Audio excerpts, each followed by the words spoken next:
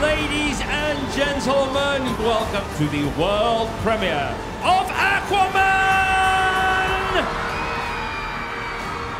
Finally, Aquaman's here. It's done. To be here for the world premiere, to be with these fans is unbelievable.